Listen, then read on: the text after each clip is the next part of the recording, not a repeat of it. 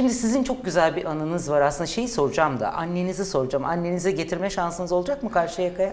Vallahi Karşıyaka'yı görmek şimdi istiyordu değil mi? şö- şöyle bir öykü o. Anlattım da aslında benim için özel. Ee, Ben İzmir Milletvekili e, adayı diye ilan edildiğimde annemle konuşuyoruz telefonda. Dedi ki seçilirsen beni Karşıyaka'ya götürür müsün? Niye dedim sen hiç Karşıyaka'yı görmedin mi? Çünkü biliyorum ki iki sene burada İzmir'de yaşamışlar. Evet. Yok görmedim dedi. Ee, işte 70'li yıllarda İzmir'de babamın görevi gereği e, bir evde kalmışlar e, Buca'da. Sonra 12 Mart muhtırası zamanı e, bir iftiraya uğruyor babam. E, alıp götürüyorlar evden.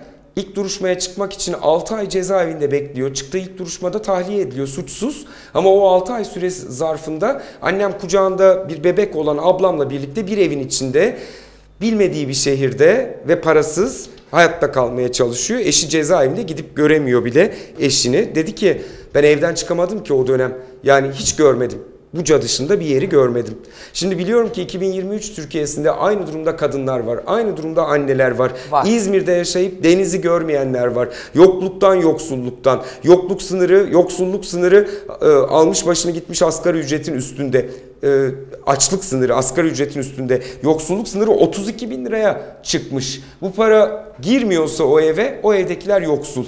Ve İzmir'de yaşayıp denizi göremeyen aileler için, çocuklar için kimse yatağa aç gitmesin diye mücadele edeceğiz. Açlıkla mücadele edeceğiz biz bu Çocuklar ülkede. su içerek e, doyuyor haberini gördükten sonra deprem Temiz bölgesinde. içme suyu bile bulamıyorlar. Evet. Okula gidiyor.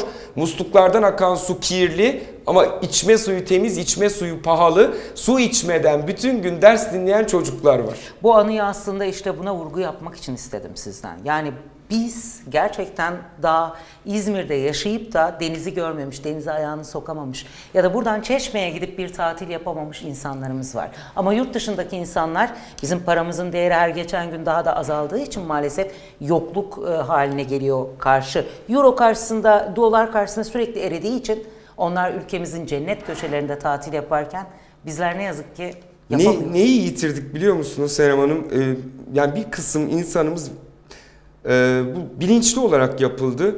Vicdanları e, karartıldı insanımızın. Ben bu anıyı anlattığım zaman kocaman adamsın. Bunca yıl anneni bir kere de mi getirmedin İzmir'e diye söyleyenler oldu. Annem son 10 senedir yürüyemiyor. Evden zor dışarı çıkabiliyor hastalık sebebiyle.